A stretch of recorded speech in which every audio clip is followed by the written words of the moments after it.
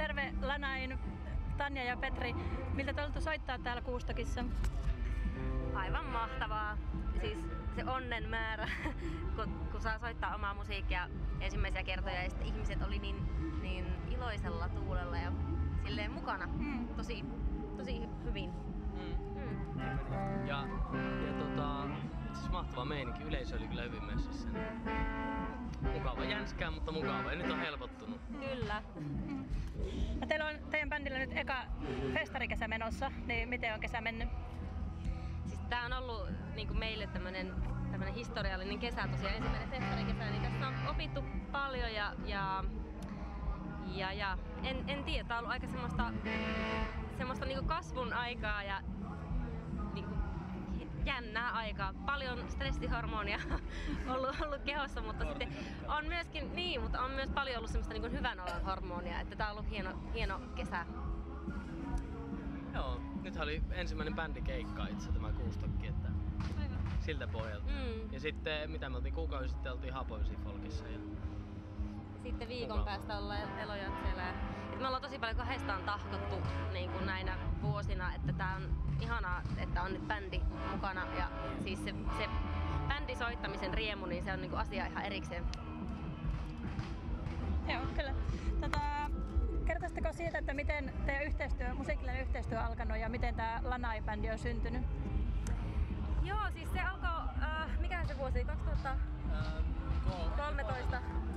Tota, meidän yhteinen ystävä Niko Konttinen äh, oli kasaamassa bändiä tämmöiselle yksittäiselle keikalle nelivitoseen ja me ei tunnettu siis Petrin kanssa toisemme niin siinä vaiheessa. Ja sitten äh, se oli kysynyt meitä molempia siihen ja tavattiin treeniksellä päivää ennen sitä keikkaa ja mä katsoin, että vitsi, että tossa on kyllä taitava kitaristi ja mukava poika.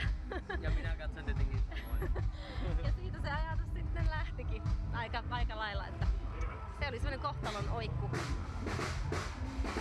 Äh, Te olette just vähän aikaa sitten saanut teidän ekan levyn valmiiksi, niin, niin millainen prosessi tämä levyn tekoprosessi oli?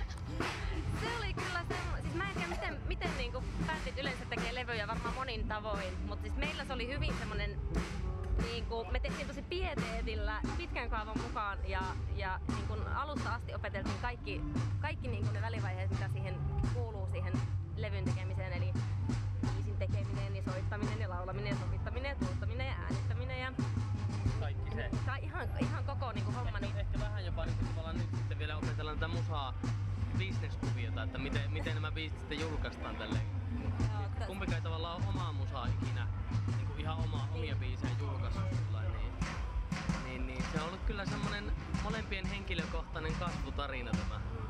Mut siis tää on ollut parasta ikinä ja vaikka tätä ei niin kuin en näe, että ihan kuka tahansa lähtisi täm- tämmöiselle tielle, niin, niin tää on ollut ihan, ihan parasta ja niin kuin musiikin tekeminen ja biisien kirjoittaminen niin on intohimo, mihin vähän niin kompastui sitten niin viimeistään tämän projektin kanssa, vaikka on tehnyt musiikkia niin pitkään, niin sitten nyt vasta kun pääsi tavallaan sen hands-on rooliin tai joutui sellaiseen rooliin, niin on löytänyt itsestään vaikka mitä. Että pelkkää plussaa niin kuin kaikki, kaikki mahdolliset asiat niin on ollut, ollut vaan eteenpäin. No, vähän sivusittekin, että olette paljon oppinut tämän prosessin aikana, juttu, mitä olette oppinut tämän levyn teon niin kuin, sitä tehdessä?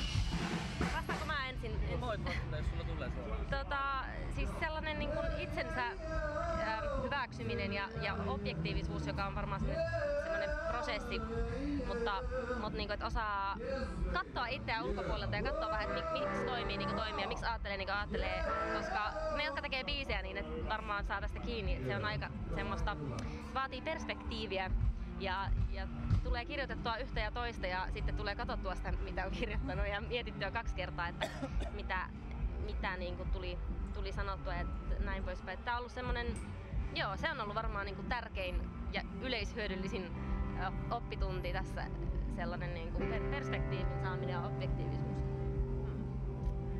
Mulla tuli mieleen varmaan ehkä niinku semmonen itsensä hyväksyminen ja, ja armollisuus on ehkä, ehkä niinku, mä oon aika, aika semmonen, mä teen pieteetillä asioita. Tietenkin, Tanikin tekee pieteetillä tietenkin, mutta mutta tota, sitten siihen liittyy paljon sellaista, että kun tekee jotakin ja sitten sä et ole myöhemmin siihen tarpeeksi tyytyväinen, niin sitten jotta pääsee eteenpäin, niin kuitenkin pakko, pakko hyväksyä se, mikä on, musan on kuitenkin niin intuitiivista. Niin pakko tavallaan hyväksyä se, että mikä on kunkin hetken semmonen, semmonen tota, Tämmönen. niin silleen. Joo. No, no, puhutaan sitten vähän Oulusta. Mitä oululaisuus teille merkitsee? No siis täällä on asunut äh, äh, lähes aina, muutamia reissuja lukuun ottamatta. Niin, niin on siis, kyllä se varmaan aika paljon että Oulu on muuttunut tosi paljon. Et kuin, et oululaisuus, hirveän vaikea vastata tuohon kysymykseen, koska Oulu on muuttunut vaikka, vaikka 10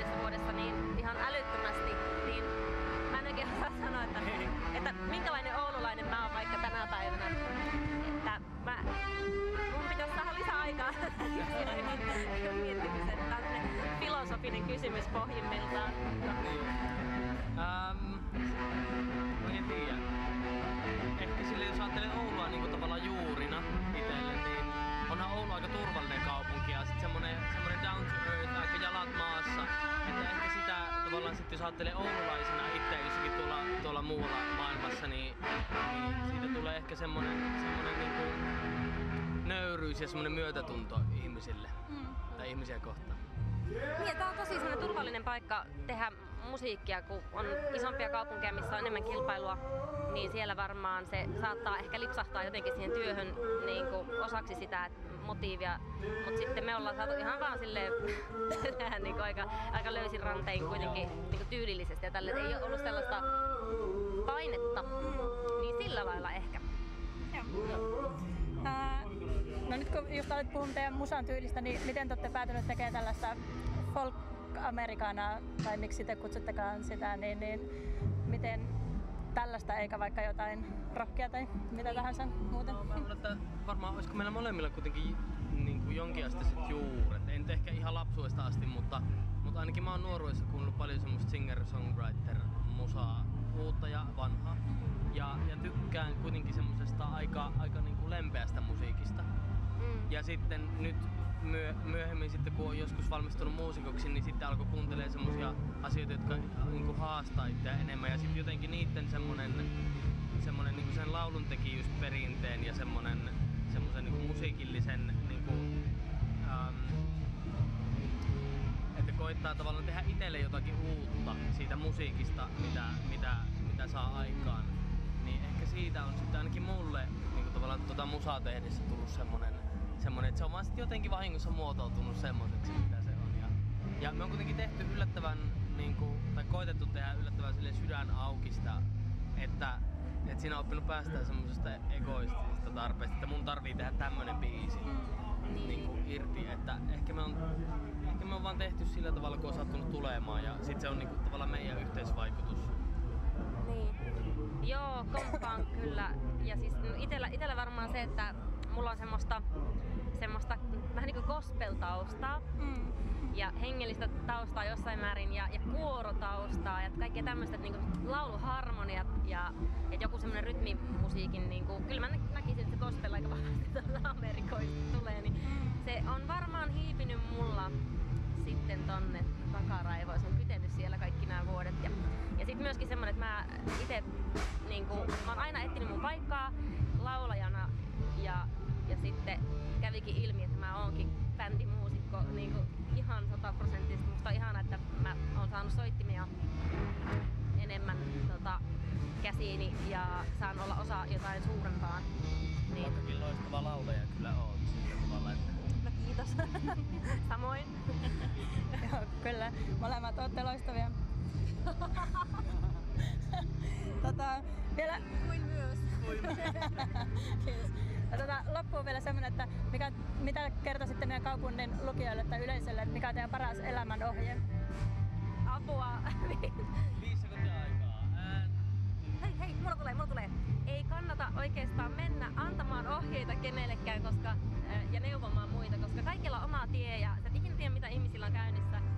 Ja tota, niin kuin ihmisten täytyy kuitenkin itse oppia kaikki, niin jos joku näyttää, että se on menossa johonkin suuntaan, mihin itse menisi, jostain tarvii kääntyä takaisin. Niin tota, kyllä, kyllä kaikki tiet vie Roomaan. Eli periaatteessa niin, että ei tuomita muita ihmisiä, eikä itseään siitä omasta tiestään. No voi se noinkin muotoilla. No niin. He. No niin, se on hyvin sanottu. Kiitos paljon haastattelusta. Kiitos. Kiitos.